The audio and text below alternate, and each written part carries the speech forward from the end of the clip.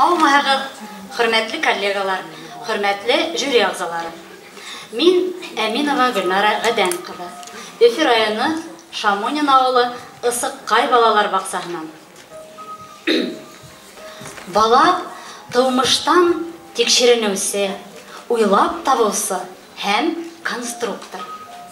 Бала кеше уйлап табырға һәм барлыҡҡа килтерергә, отҡорлоғон, зирәклеген, ҡыҙыҡһыныусанлығын һәм ижадилығын күрһәтергә сикләнмәгән мөмкинселектәргә эйә.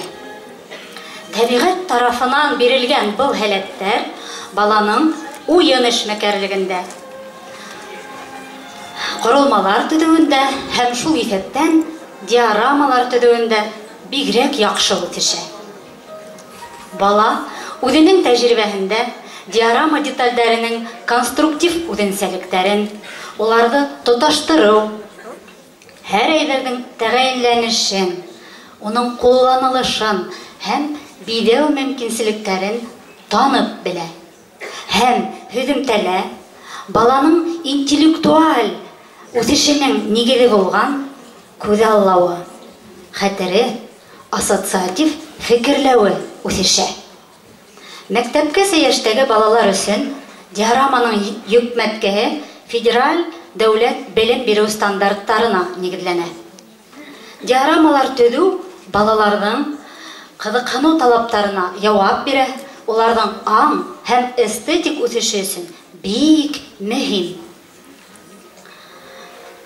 Диорама төҙөү процесында балаларҙың тирә-яҡ предметтарҙы анализлай белеүҙәре, объекттар тураһында дөйөм күҙ аллауҙары, үҙаллы фекерләүҙәре, ижади зауыҡтары үҫешә.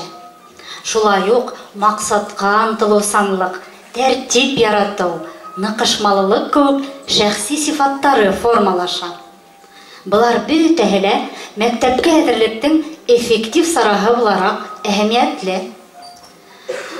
Бөтә белем биреү өлкәләрен дә үҙ эсенә алырлыҡ һәм маҡсаттарға ирешеүҙә ҙур ярҙам иткән яңы эш формаһы ул диорама. Уны төҙөү эшмәкәрлеге ваҡытында балаларҙың күҙ аллау һәм ижади фекерләүе, бармаҡтарҙың ваҡ моторикаһы, булдыҡлылыҡ, сыҙамлылығы формалаша. Диорама ул һынлы сәнғәттең бер төрө. Ваҡиға урынын киң күрһәтеү өсөн ҡулайлы өлөштәр менән йыһазландырылған мобиль конструкция. Ул билдәле бер темаға арналып эшләнелә.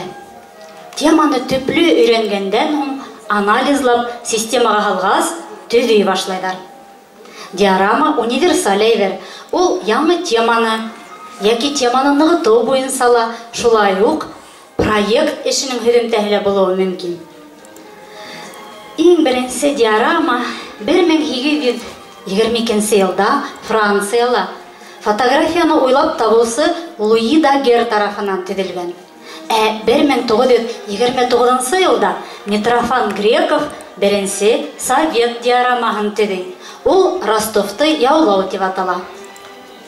Диорамаларҙың күбеһе тарихи алыштарға бағышланған. Һуңғы ваҡытта беҙ балалар менән эшмәкәрлегебеҙҙә киң ҡулланған өҫтәл форматындағы диорамалар популярлыҡ яуланы. Диорама федераль дәүләт мәктәпкәсә белем биреү стандарттары талаптарына тулыһынса яуап бирә. Ул полифункциональ. Балаларҙың ижади эшмәкәрлеген, күҙ аллауын үҫтерә. Вариатив һәр бер өлөшөн бер нисә вариантта ҡулланып була. Дидактик үҙенсәлектәргә эйә. Балаларҙы төҫ, форма менән таныштыра. Беҙҙең балалар баҡсаһында ата-әсәләр менән берлектә төрлө темаға диорамалар төҙөлдө. Тәҡдим ителгән диорама мәктәпкә йәштәге баланың социаль коммуникатив, танып белеү, художестволы эстетик, телмәр үҫешен әүҙемләштереүгә йүнәлтелгән. Үҙ халҡының рухи байлығын таныштырып, балаларҙы юғары дәрәжәлә милли үҙаңлы һәм рухи мәҙәниәтле шәхес булып формалашыуына нигеҙ һала ул диорама.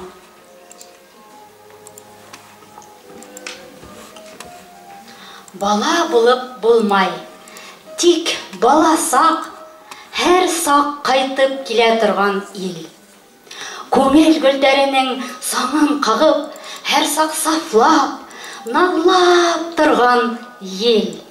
Хин дүнияны яқын көрген келһә бала көбе бақ уға дүния шундай сағыу шундай ғәжәп итең китерлек бит дүнияға.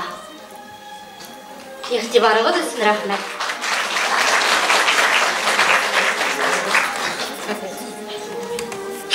Спасибо, Гульнар Гаданна.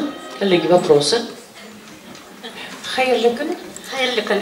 Һеҙгә минең шундай һорауым, ам был диорамаларҙың темаларын һеҙ балалар менән нисек һөйләйһегеҙ?